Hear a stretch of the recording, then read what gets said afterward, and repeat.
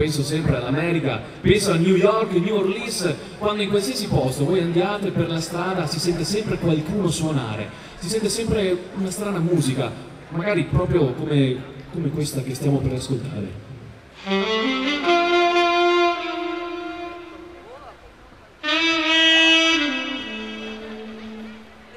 Thank you.